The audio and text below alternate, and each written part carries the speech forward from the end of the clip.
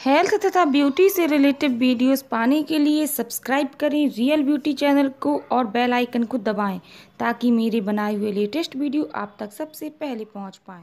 Hello friends, आपका हमारी real beauty channel में बहुत बहुत स्वागत है। सबसे पहले फ्रेंड्स, यदि आपने हमारी चैनल को अभी तक सब्सक्राइब नहीं किया है तो प्लीज़ इसे सब्सक्राइब कर लें। मैं इसमें ब्यूटी से जुड़ी हर समस्या के समाधान के लिए वीडियो बनाती रहती हूँ। तो फ्रेंड्स, अब इस वीडियो में हम जानेंगे कि किस तरह हम अपने घुंघराले बालों को एकदम सीधा और सुंदर बना सकते हैं। तो चलिए, अब हम थोड़ा ऐसे जान लेते हैं। सबसे पहले हमें इसके लिए चाहिए एलोवेरा जेल मैंने यहाँ पर पतंजलि का एलोवेरा जेल लिया है। आप और किसी कंपनी का भी ले सकती हैं। और फिगारो ऑयल फिगारो ऑयल में जैतून का तेल मिला हुआ होता है। विटामिन ई के कैप्सूल जो मार्केट में ईजिली आपको मिल जाएँगे और नींबू का रस।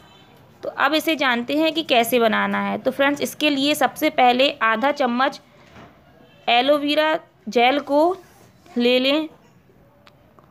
फ्रेंड्स, आधा चम्मच से कम ही रहे, ज़्यादा ना रहे। आधा चम्मच लेकर कटोरी में डाल लें ऐसे।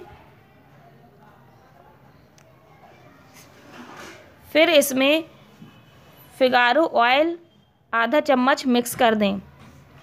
फ्रेंड्स, एलोवेरा जेल चेहरे के साथ साथ बालों को मुलायम, चमकदार और सीधा रखता है और फिगारो ऑयल में जैतून का तेल पाया जाता है, जिसमें नेचुरल रूप से बालों को सीधा और सुंदर बनाने में की क्षमता पाई जाती है। अब इन दोनों को अच्छे से मिक्स कर लें। अच्छे से फेंट लेना है ताकि दोनों इंग्रेडिएंट्स अच्छे से मिक्स हो जाएँ।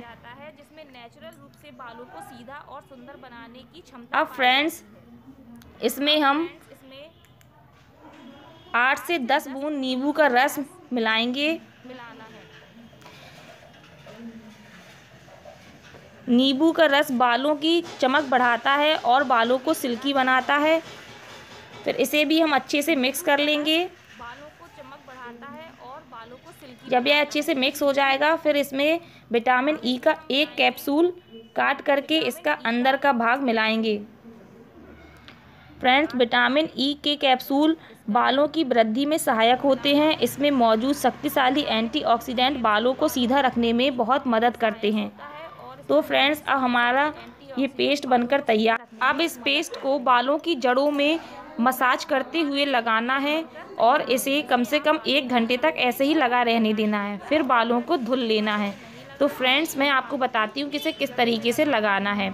इसे उंगलियों की सहायता से आप थोड़ा ले लें और बालों की जड़ों में मलते हुए लगाएँ।